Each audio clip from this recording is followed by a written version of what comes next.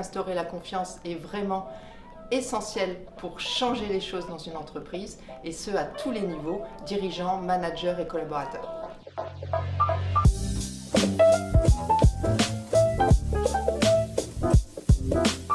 Je m'appelle Magali Noé, je suis la Chief Digital Officer du groupe CNP Assurance et je pilote une business unit qui s'appelle CNP Client Connecté et nous élaborons, nous assemblons et nous distribuons des services online pour faciliter la vie des gens.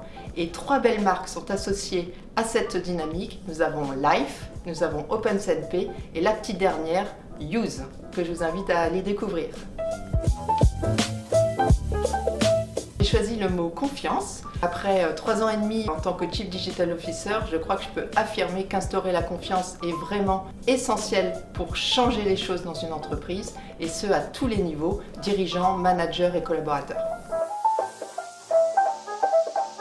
Ce mot, et pour moi, il est vraiment, vraiment clé. Il faut l'insuffler dans la culture numérique de l'entreprise. La confiance, elle existait avant le numérique, mais avec le numérique, tout va beaucoup plus vite, tout est beaucoup plus visible et tout peut se démultiplier de façon beaucoup plus rapide. Instaurer la confiance, c'est vraiment quelque chose d'essentiel pour changer les choses. Je ne sais pas si je suis une experte de la transformation digitale, mais je peux vous dire que la CNP a bougé, bouge et va bouger encore. Nous avons vraiment travaillé sur l'ouverture de l'entreprise et nous avons réussi à changer son image à l'extérieur. Nous avons travaillé sur l'accélération des process et surtout créer un terrain autour de la créativité à l'intérieur de l'entreprise. Mettre en place une transformation et qu'elle dure dans le temps, il faut manier deux notions temporelles.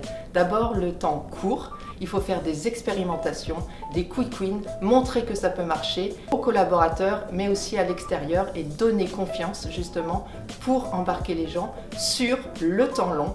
Et il faut vraiment aussi manier ce temps long, donner à l'entreprise non seulement de l'innovation produit, mais surtout de l'innovation du business model. Et pour ça, ben, ça doit s'inscrire dans le temps.